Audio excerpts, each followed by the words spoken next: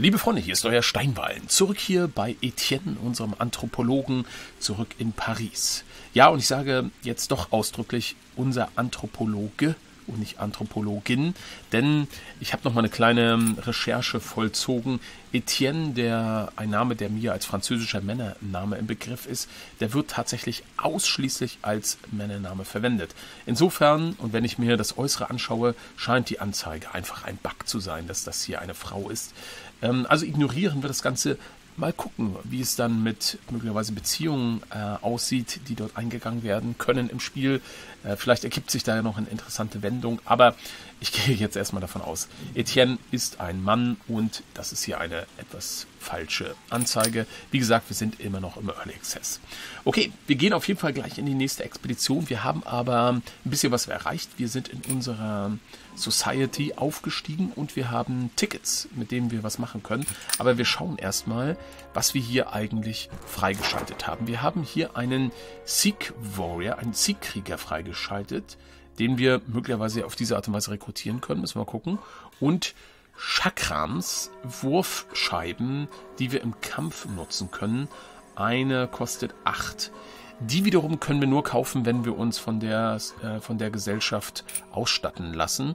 Aber ich glaube, den Sickkrieger, den können wir, glaube ich, wir gehen mal in den Clubshop. Ja, den Sickkrieger, den können wir tatsächlich jetzt für fünf Tickets anwerben. Und warum nicht, wenn wir diese Gelegenheit haben, machen wir das. Ich meinte, dann sind wir jetzt eine relativ kämpferisch gute Truppe. Aber wir machen diesen Deal. Okay, alles klar, sehr schön.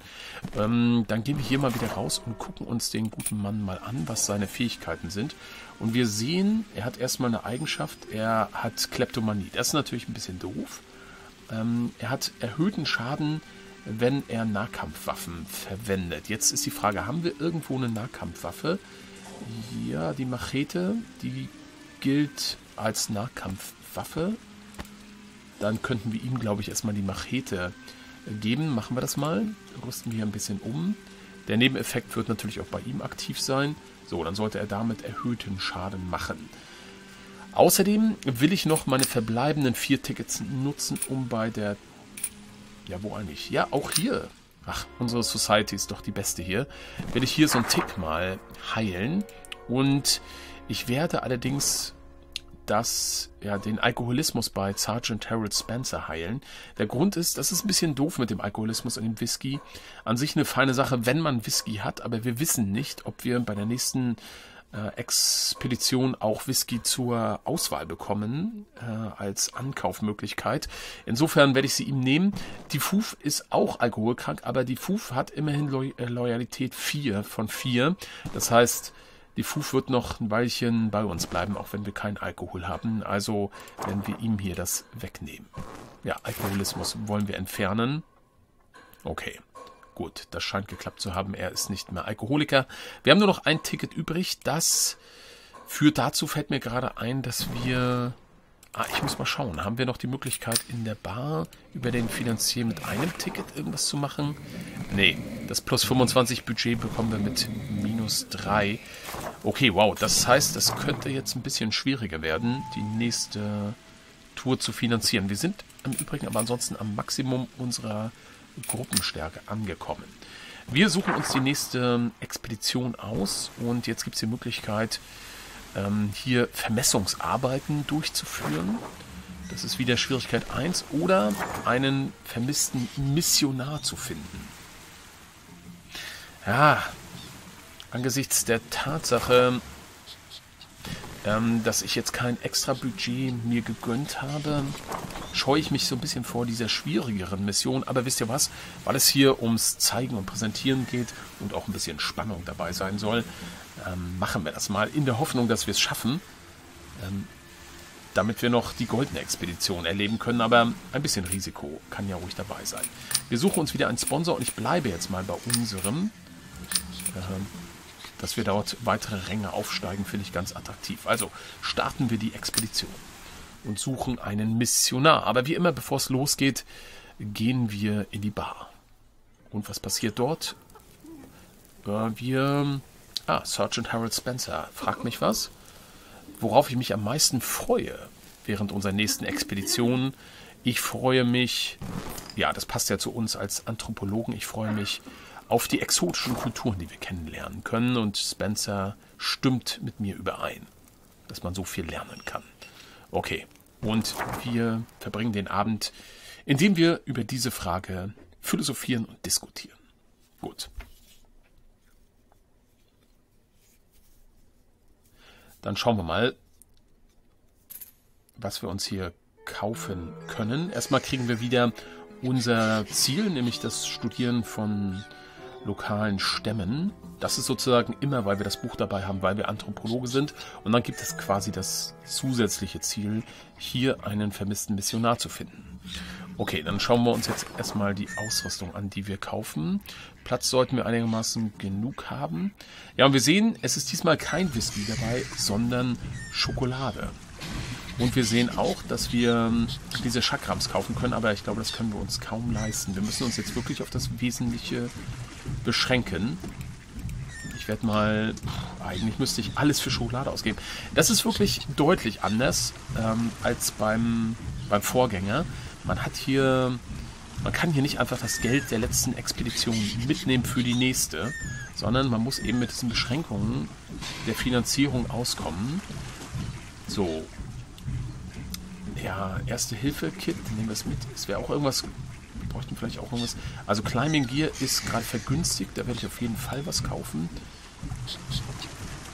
Ja, was nehmen wir dann? Nehmen wir noch ein Erste-Hilfe-Kit mit rein und dann nochmal Schokolade. Oder eine Schaufel. Schaufel und Fackel. Ach, das ist, das ist wirklich schwer zu entscheiden. Fackeln sind auch nicht schlecht. Hier gibt es auch die Eigenschaft Light View Distance 100%. Das ist insofern interessant. Bin mir gar nicht so sicher, wann das auf der Map relevant wird. Gibt es vielleicht auch dunkle Kartenabschnitte? Ich weiß es nicht. Hm. Naja, nehmen wir die Schokolade noch mit. Eng gestrickt, diese Expedition, dann auch noch schwieriger als bisher. Ich bin gespannt, ob wir bestehen werden. Ähm, wir gucken mal ganz kurz, wie viel Wasser wir im Uwe können. Wir haben sehr viel Platz hier, ist der Wahnsinn. Ja, dann nehmen wir mal... Es wäre irgendwie noch komfortabler, wenn man irgendwie einfach bestimmen könnte, wie viel Wasser man mitnimmt. Aber Wasser können wir immer wieder loswerden. Ich nehme mal relativ viel mit und wir beginnen die Expedition. Und da sind wir am Strand und wir treffen sofort eine Gruppe von bewaffneten Ureinwohnern. Das führt dazu, dass unser, unsere kulturelle Aufgabe, anthropologische Aufgabe auch schon erfüllt ist, zumindest eine davon. Okay. Sie haben unser Schiff gesehen und warten, haben unsere Ankunft abgewartet. Ähm, aha, sie warnen mich, dass der Missionar, den wir suchen, die lokalen Götter verärgert hat. Und dass er zu einem lokalen Tempel genommen wurde. Okay, um ihn zu opfern. Ach du Schreck. Okay. Und sie warnen mich, dass ich mich hier benehmen soll, anders als der Missionar. Ansonsten gibt es Ärger. So, das heißt, wir haben jetzt hier eine limitierte Aufgabe. Wir müssen in einem bestimmten Zeitrahmen diesen Missionar finden. Ach du Schreck. Das macht die Sache schwieriger, vor allem auch unsere anthropologischen Studien zu betreiben wird vermutlich kaum möglich sein, wenn wir uns darauf konzentrieren. Hm. Jetzt ist die Frage, wir können wieder nur eine Sache von Ihnen erfragen. Wir könnten hier Ihren Trade kennenlernen. Wir könnten aber auch den Standort des Dorfes erfahren, was ich auch für ganz gut eigentlich halte. Wobei den würden wir vielleicht sowieso finden. Aber wenn Zeit kritisch ist, wisst ihr was, wir fragen mal nach dem Standort des Dorfes. Okay. Karte wurde aktualisiert. Da unten scheint der Standort des Ortes zu sein. Na gut, hätten wir vielleicht auch so gefunden, war jetzt vielleicht nicht hundertprozentig nötig. So, wie ist das? Wird uns hier angezeigt, wir sollen retten, bevor er geopfert wird. Ja, aber wann? Wir wissen nicht, wann es ist. Gibt es noch ein Zeitlimit? Im Moment sehe ich es nicht. Hier haben wir nochmal Ureinwohner, die wir treffen können und wir haben dichten Dschungel. Gott sei Dank haben wir die Machete mit dabei. Ich denke, wie groß ist denn die Insel eigentlich? Aha, sie ist so südlich langgestreckt. Das heißt, wir können uns eigentlich guten Gewissens hier erstmal hinbewegen. Vielleicht treffen wir ja diese Ureinwohner und können doch noch mit ihnen ein bisschen sprechen und unsere anthropologischen Studien fortsetzen. Also reisen wir erstmal hierhin als nächstes.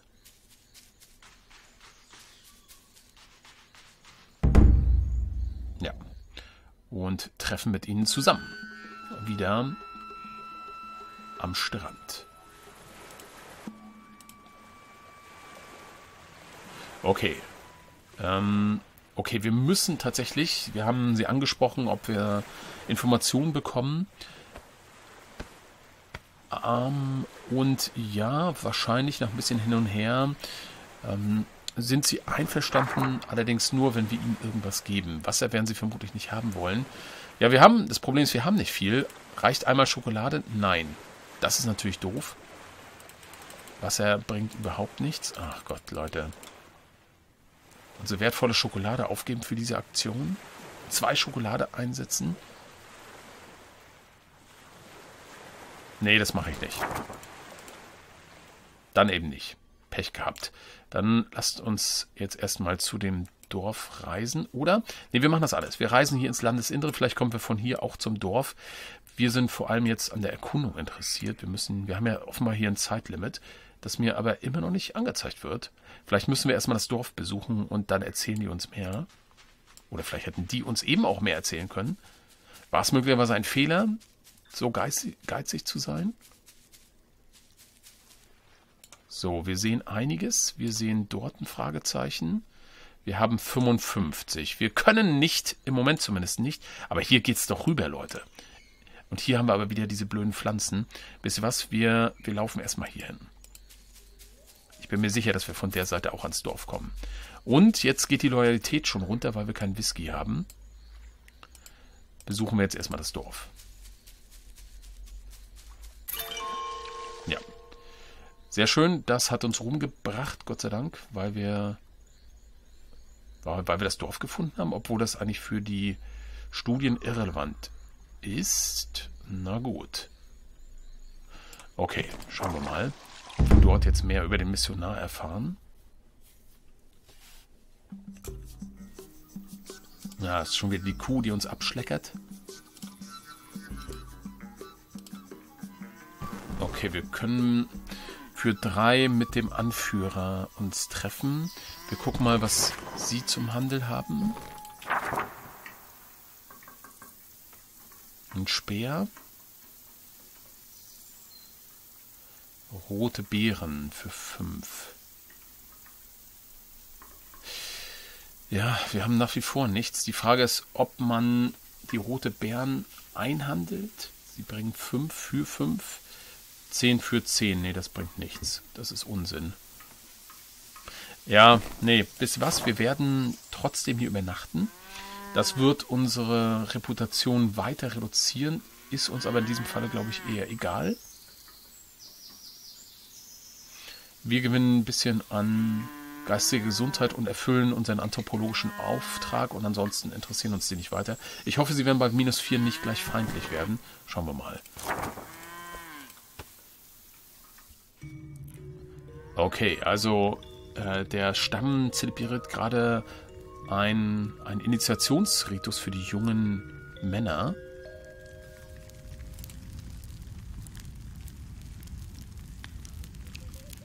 Okay, die müssen irgendein Ritual durchführen. Okay, und sie, sie fordern mich auf. Scarification, ich weiß gar nicht. Ist das irgendwie ein Angstritual? Keine Ahnung, was die hier genau machen wollen. Ähm, auf jeden Fall fordern sie uns auf, dass wir uns ebenso beweisen sollen. Dabei, wir können daran teilhaben. Wir brauchen einen erfolgreichen roten Würfel. Das müsste eigentlich machbar sein. Wir machen das mal. Wir nehmen teil. Jawohl. Geschafft. Das bringt vielleicht Anerkennung. Okay. Ich habe also Ihre Herausforderung gemeistert. Ja, plus zwei. Sehr schön. Ähm und nun behandeln Sie mich als einen der Ihrigen. Hervorragend. So, damit ist die Gefahr der Feindschaft durch diesen Stamm eigentlich beseitigt. Wir werden minus zwei Reputation wieder bekommen, denke ich. Auf jeden Fall kriegen wir ordentlich geistige Gesundheit wieder zurück. Natürlich ist jetzt viel Zeit vergangen, das muss man auch so sagen. Verlassen wir jetzt den Ort. Ah, wir fühlen uns aber verfolgt. Ja, ja, ja, genau, das kommt durch diese Feindschaft. Hm, na gut, okay. Trotzdem, den Missionar haben wir immer noch nicht gefunden. Beziehungsweise nicht mal eine Ahnung, wo er sein könnte. Wir reisen jetzt dorthin, auch wenn dort diese komischen Pflanzen erscheinen werden. Immerhin, wir haben wieder 60. Wir fühlen uns Erfolg, das verfolgt. Das wird noch ein Weilchen andauern. So, was haben wir denn hier? Was ist das denn? Ein, oh, ein Meteoriteneinschlag können wir untersuchen. Interessant. Und hier ist außerdem ein, was haben wir hier? Hyänen, zwei Hyänen. Aber mit denen sollten wir fertig werden mit unserer Truppe. Aber untersuchen wir jetzt erstmal den Meteoriteneinschlag. Aha. Okay, die, die Bruchstücke, die, die rauchen noch. Das scheint relativ frisch gewesen zu sein. Ich spüre, dass etwas Wertvolles dort gefunden werden könnte, aber die Suche ist mit Gefahren verbunden. Und hier stehen die Chancen ehrlich gesagt nicht sonderlich gut. Ich werde das nicht tun. Ich werde das jetzt hier nicht äh, riskieren. Wir hätten vielleicht irgendwie einen Trank haben müssen, um das zu machen zu können. Okay, jetzt ist die blöde Frage, ist hier oben noch irgendwas Interessantes verborgen oder wird der Missionar weiter im Süden sein? Wir könnten einen kleinen Abstecher hierhin machen, um zu sehen, was dort ist. Kostet uns 11 und natürlich auch einige Tage auch noch.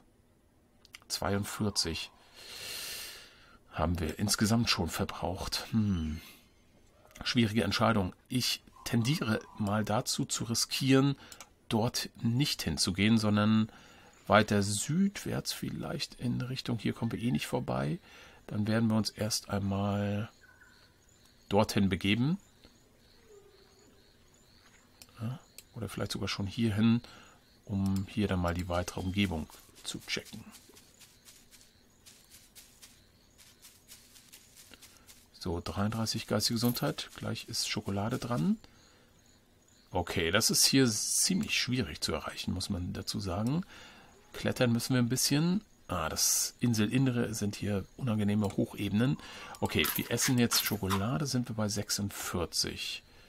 Wir brauchen 15, um dorthin zu kommen. Wir haben keine Fackel, falls das eine Höhle sein sollte. Unangenehm im Moment die Situation. Ich habe schon so ein bisschen Angst um den Missionar. Da finden wir allerdings was Interessantes. Und was haben wir hier? Ah, sehr schön. Ein Wasserfall. Das ist doch erfreulich. Da ist ein Händler. Ja, die Frage ist, ah, ich glaube, wir müssen aber rasten, weil unsere geistige Gesundheit ist doch schon sehr, sehr gering. Und um jetzt den Rest zu erkunden, brauchen wir jetzt diese Rast meines Erachtens, auch wenn natürlich wertvolle Zeit vergeht. Water benötigen wir nicht, Wasser. Also lasst uns rasten. Wir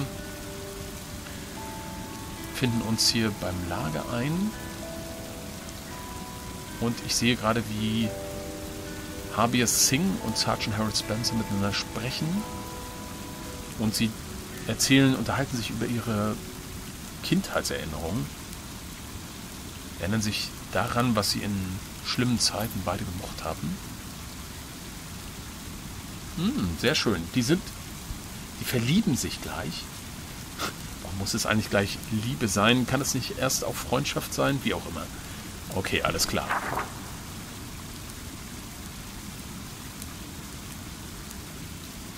Auf jeden Fall verbringen wir hier eine angenehme Nacht. Verbrauchen natürlich weitere Tage. Sind aber bei 71 geistige Gesundheit. Verlassen jetzt den Ort.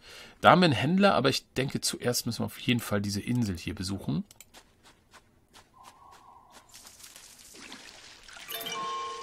Aha, eine Steinstatue. Das hilft uns jetzt eher wenig. Äh, okay, einmal Climbing Gear haben wir noch.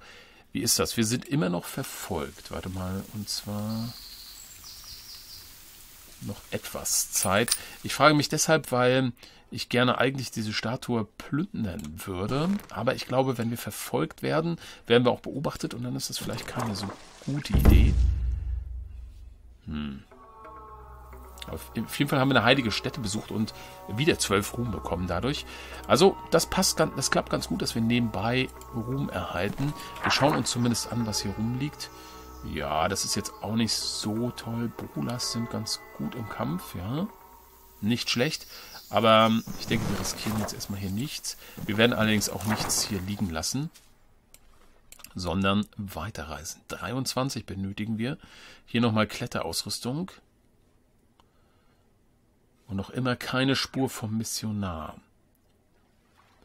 Aber immerhin einiges an Ruhm jetzt hier schon bekommen durch unsere Studien. Ja, die Loyalität ist jetzt von, bei 2 von 4. Das könnte jetzt noch zum Problem werden. Das könnte echt noch zum Problem werden.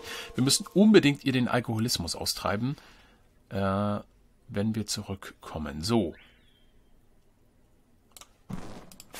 Okay, wir haben hier wieder einen Steinkreis. An Steinkreisen können wir, ja, schaut mal, Ruinen freilegen, unter anderem. Und das könnte schon das Ziel sein. Ich kann mir gut vorstellen, dass hier der Missionar gefangen gehalten wird, denn er soll ja geopfert werden in irgendwie so einem Tempel. Und das könnte das doch absolut sein, oder? Wir essen mal Schokolade und gehen mal dorthin. In der Hoffnung, dass wir ihn dort finden werden. So, wir sind eigentlich gut dabei. Schauen wir uns den Schrein an. Ja, tatsächlich, tatsächlich. Es wird schon drin gesungen. Ähm, sie sind offenbar gerade dabei bei der Opferung. Wir betreten den Schrein und treffen hier Stammesmitglieder. Äh, es sind bewaffnete Stammesmitglieder, die von ihrem Priester angeführt werden. Ja, tatsächlich. Und hinter ihnen auf dem Altar sehen wir sehen wir den Missionar. okay, wir können sie überreden, aber wir haben keine Chance. Unsere Fähigkeiten ähm, zeigen uns ganz eindeutig, dass wir das nicht hinkriegen werden. Insofern müssen wir jetzt angreifen. Wir müssen tatsächlich mit Gewalt diesen Missionar befreien. Wer hätte das gedacht? Also greifen wir an, versuchen wir es. Es war nicht die Zeit, also wir konnten nicht die Zeit mit Diplomatie ähm, verschwenden. Wir greifen zu den Waffen. So, und jetzt gucken wir mal, was die können. Leider stehen hier so tief, dass wir ihre Eigenschaftssymbole hier nicht sehen können. Wahrscheinlich auch noch ein bisschen buggy. Auch hier, schaut mal, wir stehen ja eigentlich viel zu tief. Das ist noch so ein bisschen dem Early Access geschuldet. Nun gut. Insofern weiß ich gar nicht, wie können wir dann unsere Leute hier eigentlich auswählen. Also das ist definitiv jetzt nicht ganz korrekt, so wie es sein sollte. Wir gucken aber mal, was, was sie können. Ich hoffe, Flurry. Okay. Drei zufällige Feinde. Wie heißt das? Der kann mit einem Angriff drei Feinde mit 10 Schaden erreichen. Das wäre ja der Hammer. 20 Schaden. Oh mein Gott, die sind echt gefährlich. Der kann noch ein Ritual der, der Schwäche durchführen. Oh mein Gott, das ist hart, Leute. Und wir würfeln auch noch erbärmlich, ob wir das überhaupt hinbekommen. Wir können ein Aimed Shot machen. Ich bin mir nicht sicher, was der Vorteil eines Aimed Shots ist. Er hat hier nur Damage 4, das ist eigentlich schlechter als der andere Damage. Mach Machetenhack ist auch erbärmlich und das ist ja richtig übel gelaufen, Leute. Auf wen fokussieren wir uns erstmal? Ich würde sagen mal auf den. Also wenn der wirklich drei zufällige Ziele treffen kann, finde ich das mega stark.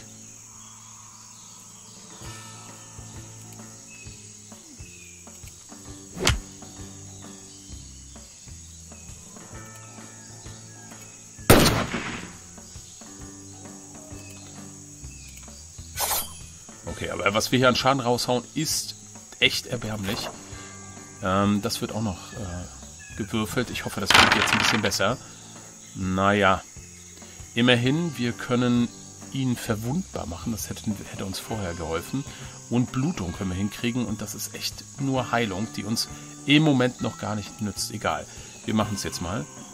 Fokussieren wir uns dann weiter auf ihn.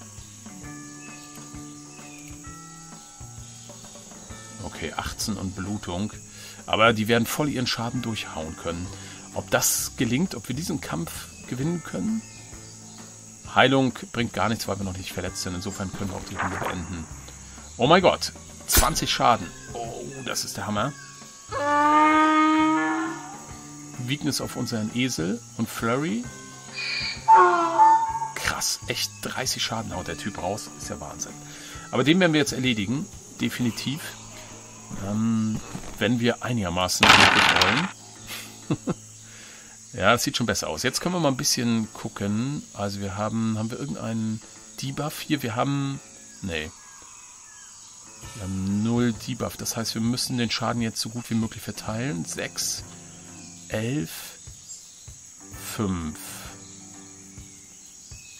6 und 5 sind 11, das bringt auch nicht viel. Und hier haben wir nochmal 5. Nee. Dann machen wir es jetzt so.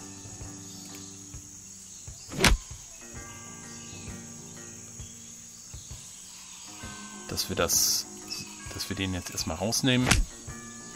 Okay. Und dann uns den nächsten vornehmen.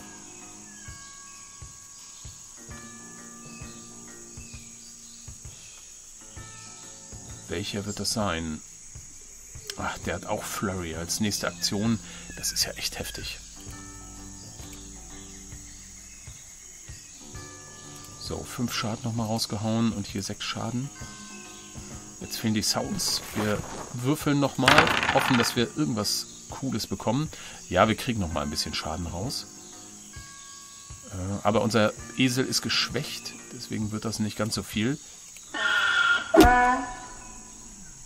Das Gute ist, wenn wir diesen Kampf gewonnen haben, dürfte die Mission auch bestanden sein. Insofern brauchen wir uns über das danach jetzt nicht so riesige Gedanken zu machen. Die Frage ist, ob alle überleben. Das wäre schon schön. So, jetzt gibt es nochmal Weakness, Schwachheit auf unseren Sergeant und nochmal 30 Schaden, der rausgehauen wird. Oh mein Gott, aber jetzt... Offenbar macht er wirklich nur seine Rituale. Der kämpft offenbar selber nicht das ist zwar doof, aber. Also, das ist zwar. Die Rituale sind zwar doof, aber in der Sache ganz gut. Und wir können auch heilen. Jetzt, das sollten wir vielleicht mal machen. Ja, es hilft nichts. Wir müssen jetzt einfach erstmal versuchen, so viel wie möglich Schaden zu machen.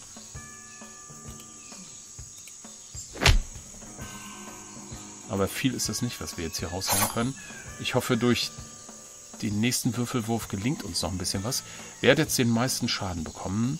50, 65, 50, 65. Hier sehe ich es ehrlich gesagt nicht. Machen wir nochmal eine Heilung jetzt auf ihn hier. Okay, 8 Schadenspunkte und Würfel nochmal. Mhm, zweimal noch. Der hat immer eine Stun-Chance jetzt. Und tötet ihn allerdings auch. Ist hervorragend. Okay, das macht mich jetzt optimistisch, dass wir diesen Kampf gewinnen können, denn der scheint keinen Schaden zu machen, sondern nur... Ah, doch, ein bisschen Schaden macht er. Fünf habe ich jetzt gerade gesehen. Aber das wird uns jetzt hier nicht mehr aus der Bahn werfen. Das ist erfreulich. Also, auf geht's. Jetzt blutet er.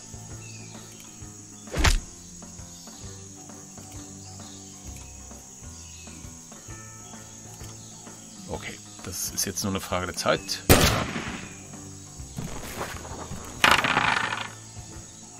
Gut, der Esel darf nochmal. Wird aber nicht genügen. Das heißt, er wird nochmal zaubern, nochmal 5 Schaden machen. Aber das bringt uns jetzt nicht hin.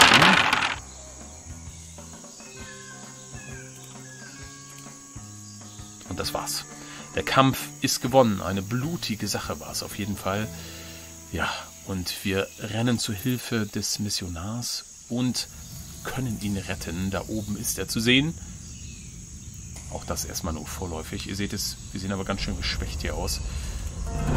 Er dankt uns. Wir eskortieren ihn zurück zum Schiff und in, in die Sicherheit von Paris. Hm. Alles klar. Sehr schön. Damit ist die Mission überstanden. Wir bekommen wieder ein paar Expo-Tickets hier. Das bringen wir mit an übrig gebliebenem Zeug. Das hilft uns alles beim Aufstieg hier in unserer Gesellschaft. Aber wir haben noch nicht Rang 3 erreicht. Fünf Tickets bekommen. So. Eine zweite Aktion in der Anführerhütte. Reduzierte Chancen, Kampf auszulösen. Oder amphibisches Bewegen von Level 1 auf Level 2. Hm. Diese Akku-Stealth finde ich ganz gut. Die Akku-Chance, das nehmen wir mal mit. Gut, sehr schön. Alles klar. Wir haben wieder fünf Tickets. Bevor ich das vergesse, werde ich mal das sofort jetzt hier machen und diese drei Tickets ausgeben, um bei Diffuf auch den Alkoholismus zu heilen. Das ist wirklich nervig. Wie weit ist sie runter? Drei von vier, das ist doch okay. Ich glaube, bei jeder erfolgreichen Mission geht die Loyalität auch hoch. Insofern sind wir da sehr gut im grünen Bereich, so wie es aussieht.